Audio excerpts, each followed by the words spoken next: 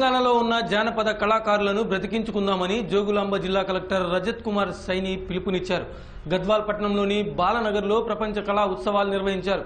కళాకారులు కళా ప్రదర్శనలతో బాలభవన్కు ర్యాలీగా వచ్చారు. ఈ కార్యక్రమాన్ని జిల్లా కలెక్టర్ రజత్ కుమార్ సైని జ్యోతి ప్రజలను చేసి ప్రారంభించారు. ఈ సందర్భంగా ఆయన మాట్లాడారు.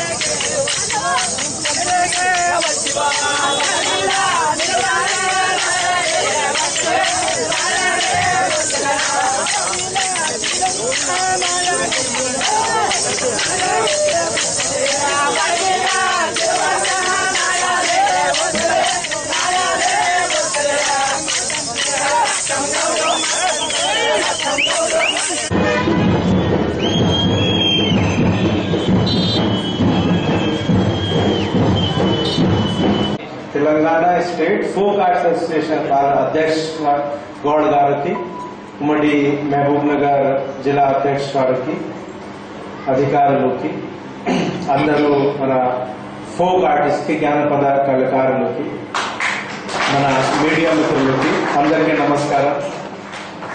మీతోటి ఇది నా ఫస్ట్ సమావేశం కాదు.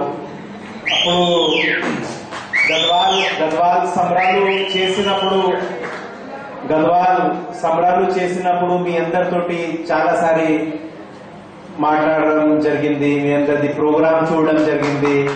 ప్రతి అప్పుడు ధరూర్లో జెడ్పిహెచ్ఎస్కి పోయినప్పుడు అక్కడ మార్కెట్ కమిటీ చైర్పర్సన్ గారు ఇది ఫస్ట్ టైం నాకు ఏమంటారు?